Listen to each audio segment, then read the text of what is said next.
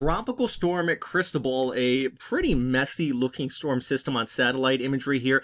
The bulk of the convection well towards the east of the center. Despite the center expected to come on shore in Louisiana overnight Saturday heading into Sunday, uh, really Florida is going to be getting the biggest impact from this. So right now it is the evening of the 6th of June 2020. It is Saturday here in the eastern U.S. and this storm, well, for all intents and purposes, really it's all about the bulk of the convection here well towards the north and east. The low level center actually located in here, but what we have been seeing over the last few days, just this dry air wrapping in, plenty of vertical wind shear aloft, and that has been allowing storm to become rather lopsided. In fact, this is water vapor imagery. You can just see all of this dry air wrapping into that low level center here. The bulk of the convection flaring off towards the north and east. And actually, take a look at this. This is the upper level winds, uh, wind shear, I should say. You see plenty of shear just towards the north and east. That's the upper level winds via satellite. Let's pull the shear off here. And you see these strongest winds, about 50 to some areas upwards of 80 to 90 knots aloft.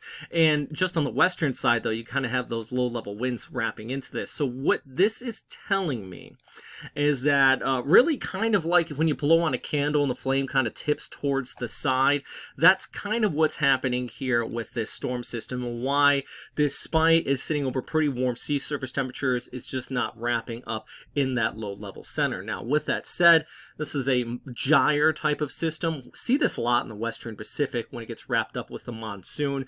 Um, the bulk of the highest winds is away from that center of circulation. And even the chance of storm surge, because do remember that with this type of system, you have those winds that are going to be coming in the south. And uh, this is actually a pretty good graphic. It's experimental graphic from the National Hurricane Center. I wish more agencies would do something like this.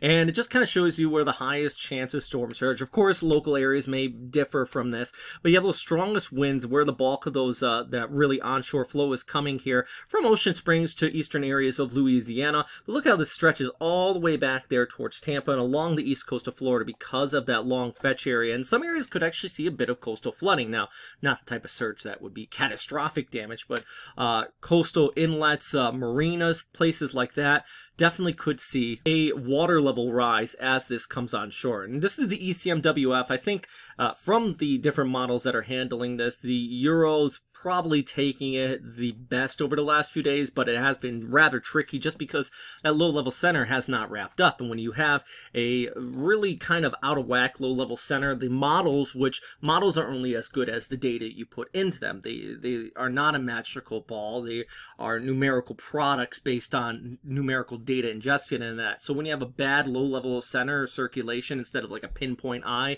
the models tend to just kind of waver a little bit. They've all been talking about where this is going to go, Louisiana, but where the overall system was going to interact, especially as it moves towards the north, they have been differing here. And the Euro, I think, has been pretty decent on it, showing that bulk of the convection flaring up towards the north and east. So pretty much throughout the day on Sunday, especially heading into Sunday evening, much of Florida, the Florida Panhandle, Louisiana, um, Mississippi, Alabama, and then eventually even moving inland, looking at a pretty tremendous amount of rainfall. This is out through about Sunday evening. I'll even loop this ahead here to about 55 hours out. So we got here to about Monday afternoon. Look at uh, Jacksonville, Florida, actually, in that area where I am, two to four inches possible.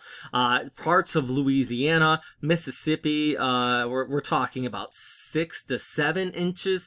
Uh, if this model does play out, may not be that high, but I still think a pretty decent amount of rainfall and definitely that threat of localized flooding up and down the Gulf Coast possible with this, even that coastal storm. So see, the winds are going to be high tropical storm strength type deal. Winds are sustained right now at about 50 miles per hour according to the National Hurricane Center, but really it's going to be just this broad shield of uh, rainfall and even that chance of some coastal surge with it.